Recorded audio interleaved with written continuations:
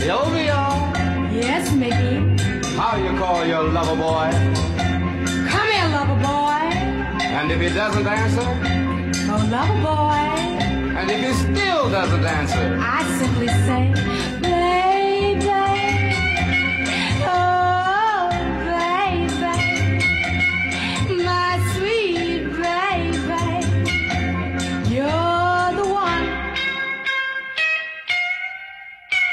Baby.